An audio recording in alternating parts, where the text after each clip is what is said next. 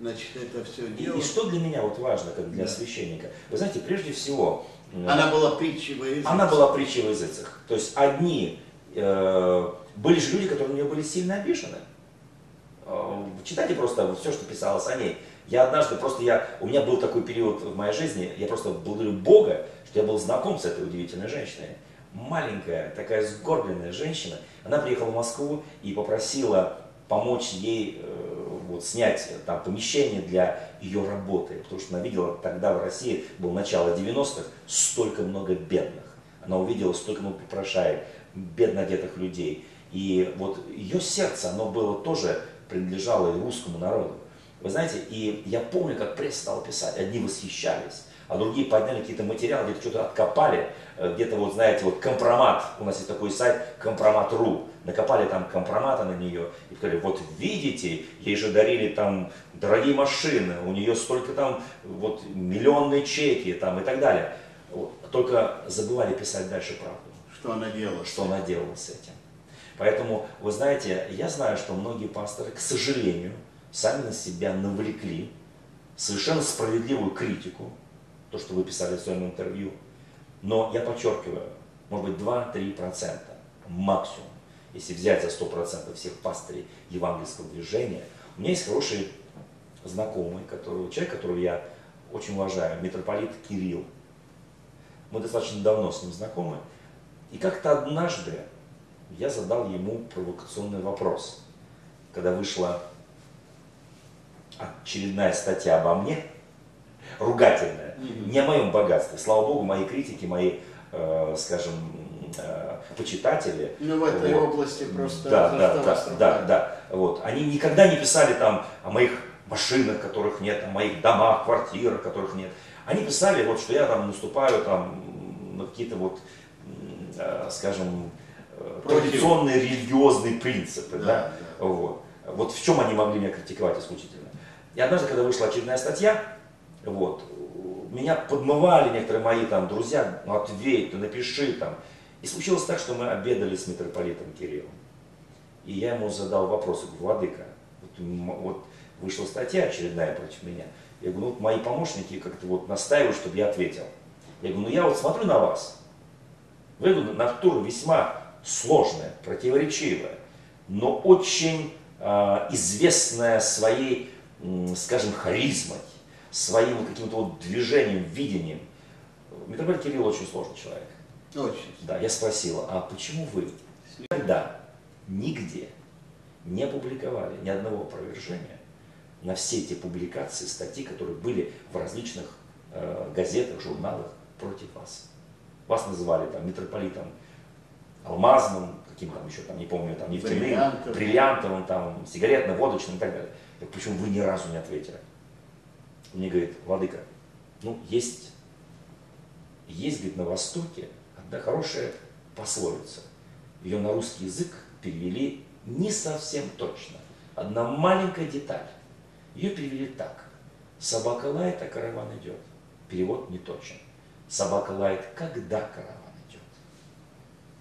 То есть, другими словами, говорит, если я остановлюсь для моей родной православной церкви делать, приумножая ее богатство, чтобы строились храмы, приюты, чтобы строились монастыри, чтобы церковь могла иметь социаль... возможность социальной э, работы, делать эту социальную работу, то, наверное, говорит, я сам себя простить не смогу. И я не буду обращать внимание на этих критиков.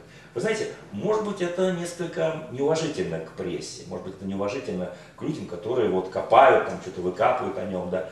Но, наверное, в этом есть некая своя логика. Поэтому я допускаю, что люди, которые, которых вы так хорошо сказали в этом интервью, никак не отреагируют на ваши слова. Я допускаю, что, э, может быть, э, э, те, которые будут писать по заказу или реагировать по заказу.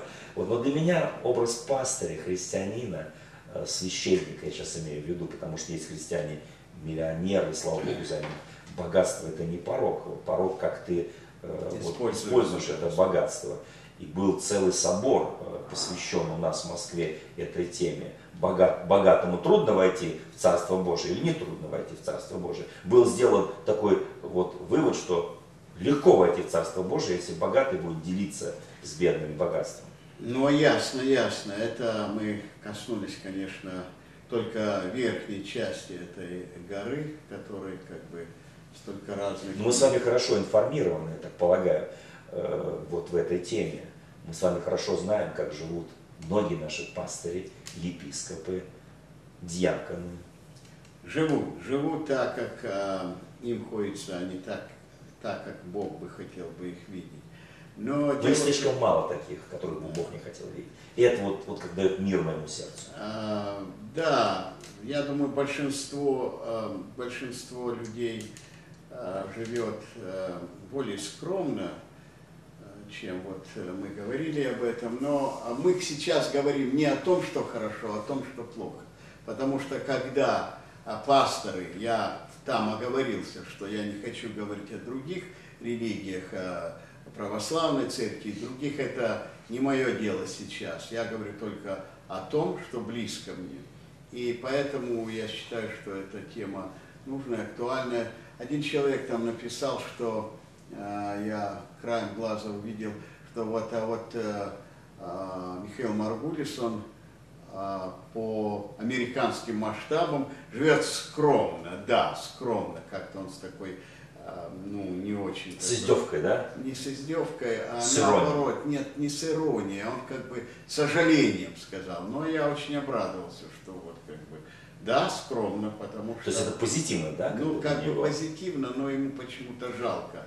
Вот было бы себя жил лучше, а я мог бы жить лучше, если бы очень захотел, то вот это было бы для него лучше. Но неважно. Это значит, мы уже как бы поговорили, это очень-очень важная тема, она требует продолжения. А сейчас совсем о другом. Сергей Васильевич, а вы в церкви пели когда-либо и поете сейчас? Ой, вы знаете, наверное, это единственный мой недостаток. Не поете? Не пел и не пою. Нет, подпеваю, подпеваю за общим хором. Э, Но не в дело том, что- микрофон, да? Не в микрофон, потому что это не говорит о том, что мне медведь на ухо наступил. Просто у нас такие благословенные певцы, музыканты, что ну, мне право стыдно с моими данными музыкальными.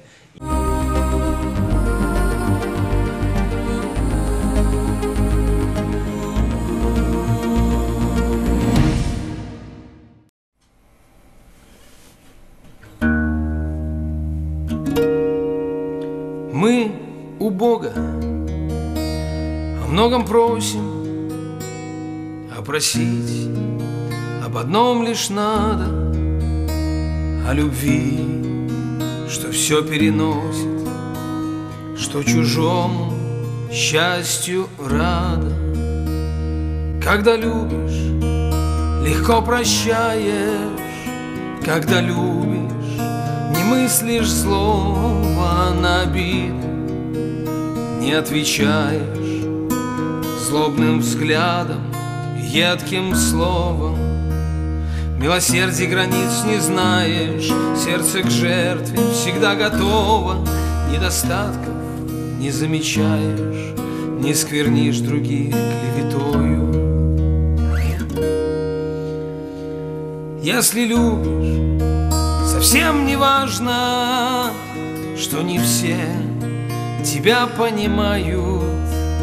Та любовь, что зажглась однажды, негасимым светом сияет, и огонь ее ярко светит, и о нем говорить не нужно, его всякий и так заметит.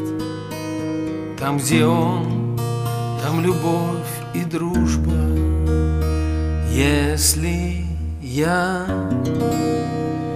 ее проявлений в своей жизни не замечаю Значит, я любви не имею.